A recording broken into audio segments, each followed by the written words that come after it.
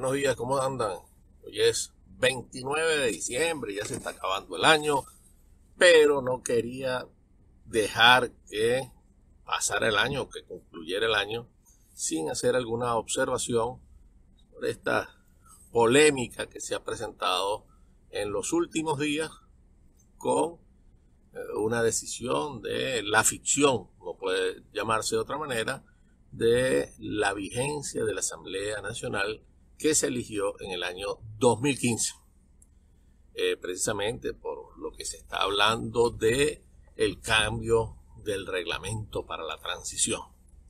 Eh, recordemos que cuando asumió la presidencia de la Asamblea Nacional Juan Guaidó, mm, se invocó el artículo 233 de la Constitución para que Juan Guaidó se encargara de la presidencia de la República de manera interina en ocasión a la vacante que se había ocasionado por la ausencia del presidente de la República. Recordemos que a Nicolás Maduro se le venció el periodo y se le desconocieron las elecciones de aquel 20 de mayo del 2018. Y bueno, en el, en el 2019, cuando asume Guaidó, asume la presidencia de la República, eh, como presidente de la Asamblea Nacional.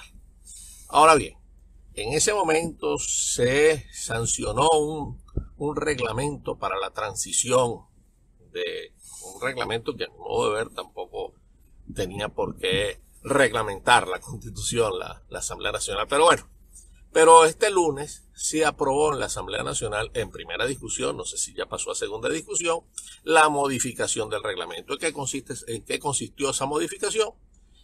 Quitarle atribuciones al presidente de la República para ellos, el interino, de no poder disponer ni, ni representar a la República en los asuntos que para los cuales antes sí estaba facultado previa aprobación de la Asamblea Nacional.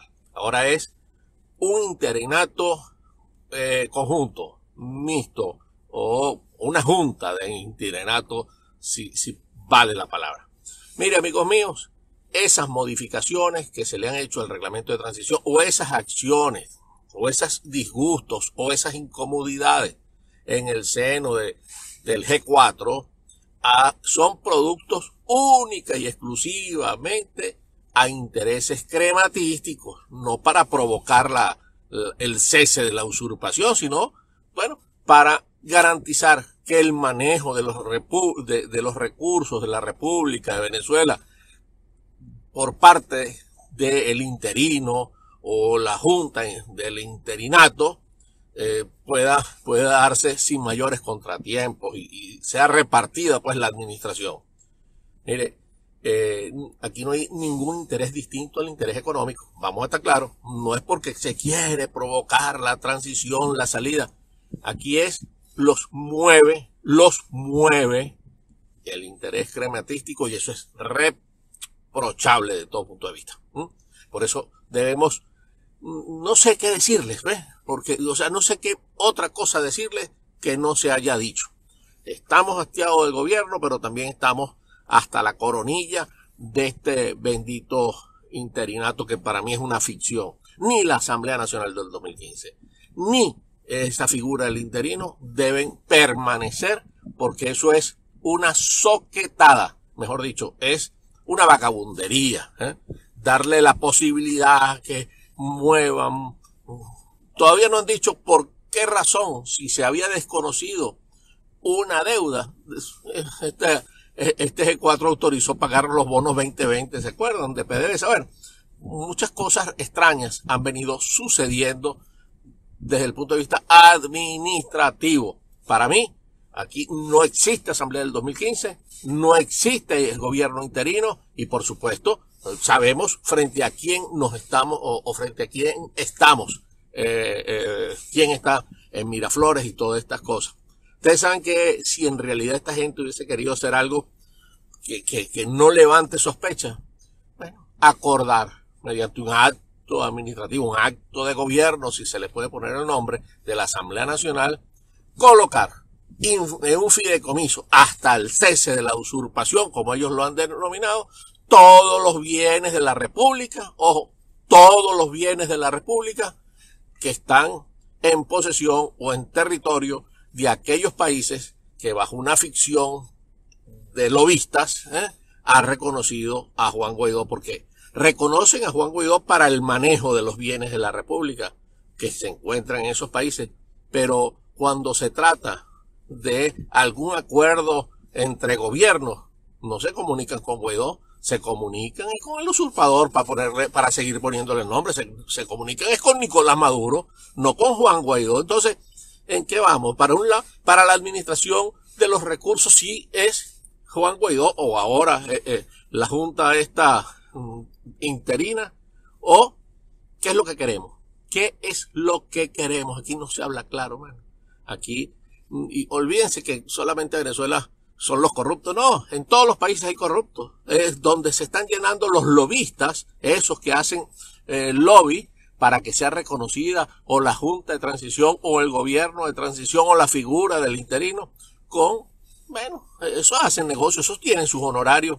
Entonces, mire, ya no ni provoca seguir hablando ni del interino, ni de la asamblea esa del 2015 que ya cesó, ok, ya se precluyó su ejercicio constitucional, ni tampoco, por supuesto, aquí lo que tenemos, miren, amigos todos ustedes, ¿eh?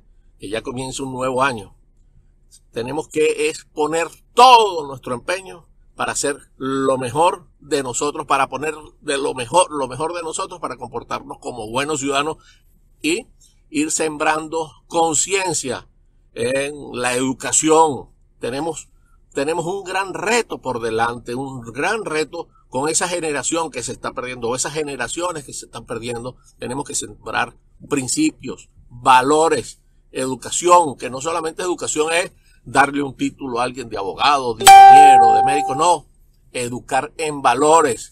Ahora está en juego, en cuestión por allí, está agarrando gran auge la cuestión es la identidad de género. Sobre eso tenemos que nosotros ponernos de acuerdo para formar o inculcarnos reforzar los valores y las tradiciones y las costumbres venezolanas. El hombre es hombre y la mujer es mujer desde el momento de la concepción. ¿Qué es eso, vale? Que la gente va a escoger el sexo después cuando tenga uso de razón. ¿Cómo es eso que si usted va a presentar a un niño, eh, la partida de nacimiento no tiene un sexo definido sino hasta que él lo escoja? ¿Qué es eso, vale? Hombre es hombre y mujer es mujer. Ah, que respetemos las preferencias sexuales de cada quien, eso es otra cosa. Que a un hombre le guste a otro hombre, eso es asunto de ellos. O que a una mujer le guste a otra mujer, que se ponga a vivir, eso es asunto de ellos.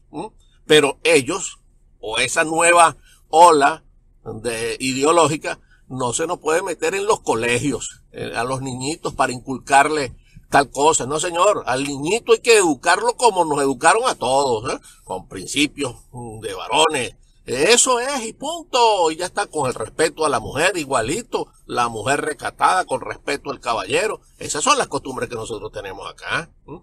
Entonces, amigos míos, les deseo feliz año. Y vaya, tenemos que tener sentido común. No dejarnos embaucar. Ni por este gente del PSV, ni tampoco por esta gente que quiere ahora y que el interinato, la Junta interina, por Dios. Apretado abrazo para todos ustedes.